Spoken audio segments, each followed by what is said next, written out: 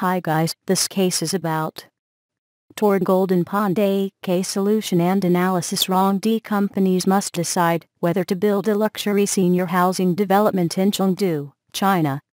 Demographics are very encouraging for this new type of product, but there are many cultural, market, financial and political risks that they have to evaluate before moving forward.